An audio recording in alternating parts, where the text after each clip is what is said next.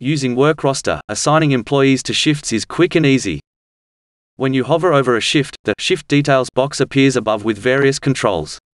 On the Assign line, click the Employee link to open the pop-up assignment menu. From the assignment menu, click on an employee's name to immediately assign them to that shift. You can assign multiple employees to a shift. To remove an employee from a shift, hover your mouse over the assignment and then click the Remove link that appears. The employee is immediately removed from the shift. Next to each employee in the assignment menu is the number of shift hours they have already been assigned for that week. This can help managers to allocate new shift assignments more fairly, or within regulation limits.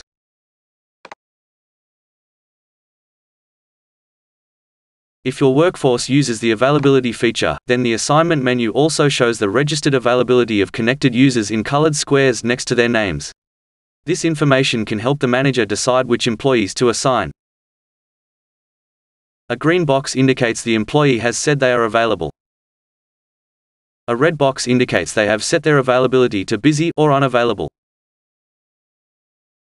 A gray box indicates they have not yet set their availability. Employee records that aren't yet connected with a user account do not show any color box, because that employee cannot log in to set their availability.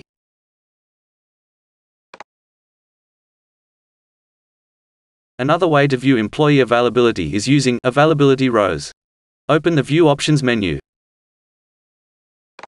And then set the Availability row option. There are six different settings to choose from for the Availability row. The Hide Availability row option hides the availability on the screen. With the availability row hidden, employee availability can still be seen on shift assignments, and on the shift assignment menu.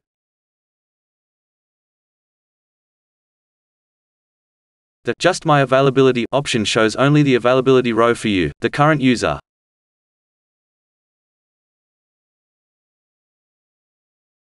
The Dynamic Availability Row option displays a single availability row, but one that dynamically updates and displays the availability of the employee currently being hovered over on the roster display.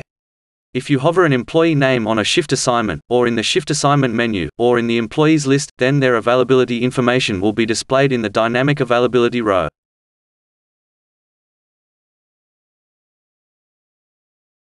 The All with Availability option will display availability rows for each employee that has entered some availability information, either free or busy. Rows are not displayed for employees that have not entered any availability in order to save space on the screen.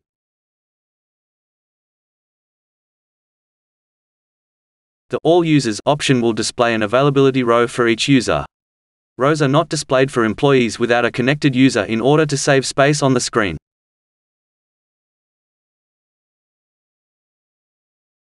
The All Employees option will display an availability row for each employee.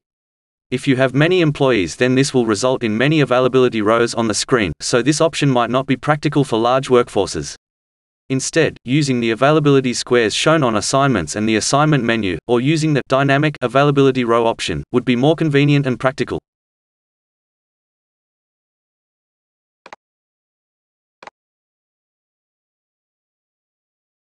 If your workforce uses the shift agreement feature, and the workforce settings allow for pre-accept or pre-decline agreements, and your employees can see all shifts, then the assignment menu will show the pre-agreements made by connected employees.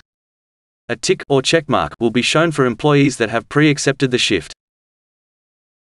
A cross will be shown for employees that have pre-declined the shift. A question mark will show for employees that have not set any pre-acceptance for that particular shift. A dash will show for employees that have no connected user, because that employee cannot yet log in to set any pre-acceptance.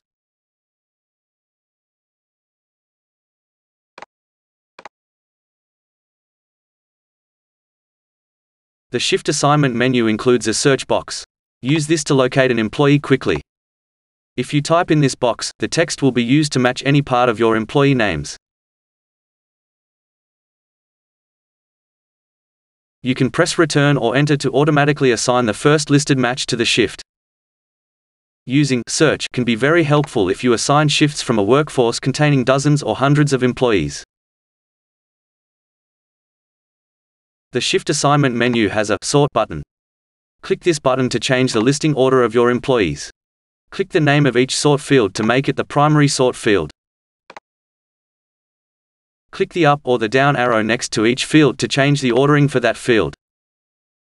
For example, we could make the assignment menu sorted first by availability, then by hours assigned, then by agreement, and then by last name. Click the Sort button again, to hide the sorting controls.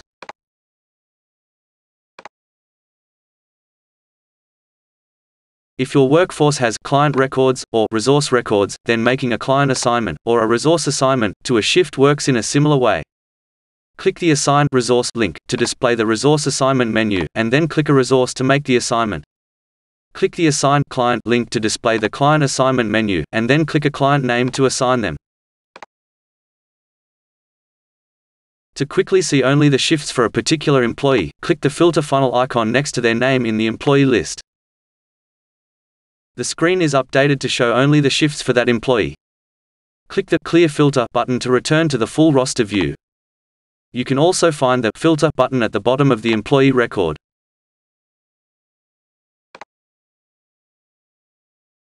When viewing a filtered view of the roster, like this, then any new shifts created will automatically have the corresponding employee immediately assigned.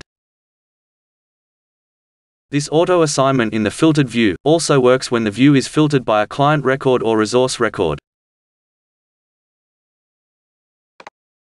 When using Work Roster, instead of assigning shifts to employees, employees are assigned to shifts, which we consider is the more natural way to think about it.